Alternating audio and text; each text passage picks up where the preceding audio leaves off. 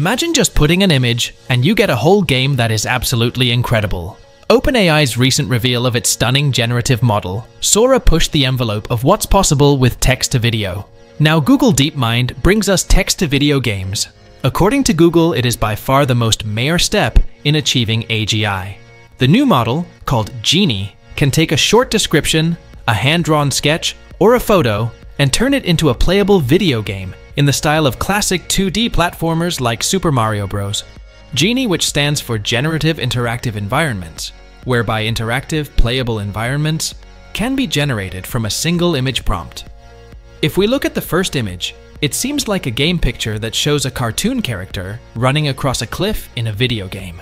The character appears to be a man with short brown hair and a beard. The character is running on a dirt path that is located on the edge of a cliff.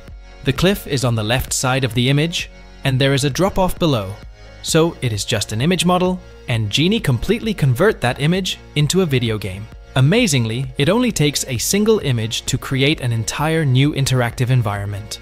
This opens the door to a variety of new ways to generate and step into virtual worlds.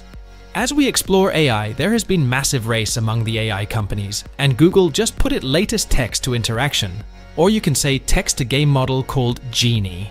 And it is absolutely unseatable. Last week, OpenAI put its text to video model Sora, and OpenAI CEO says that Genie may be the biggest threat to Sora.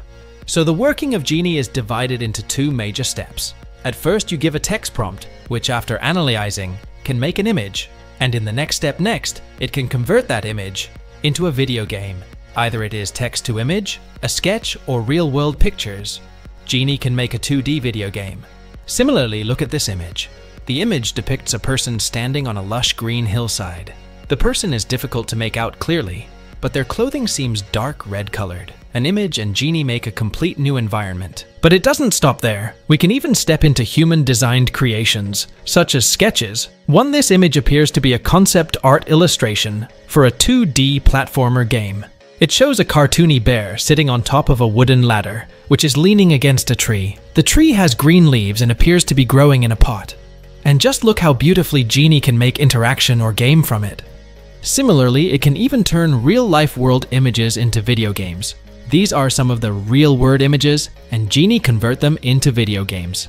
Now it is very blurry because it is only one frame per second and 2D, but DeepMind is working hard on them to produce as much quality as possible. Google DeepMind write in its blog that Genie can be prompted with images it has never seen before, such as real-world photographs or sketches, enabling people to interact with their imagined virtual worlds, essentially acting as a foundation world model. This is possible despite training without any action labels. Instead, Genie is trained from a large dataset of publicly available internet videos.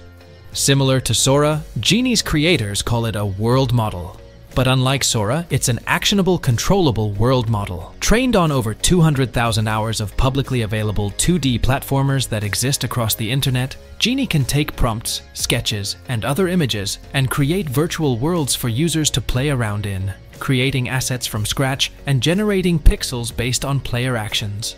The most impressive thing about Genie is the AI's understanding of physics through hundreds of hours of unsupervised training. This allows Genie to understand differing layers of game mechanics like player control, actions, and movement. Outside of developing 2D platformers, there could be potential use in the field of robotics to help train robots on how to navigate environments. While nowhere near the high image quality and polished presentation of Sora, Genie is an impressive generative AI. It also prompts questions about the future job security of video game developers and concerns for game marketplaces like Steam.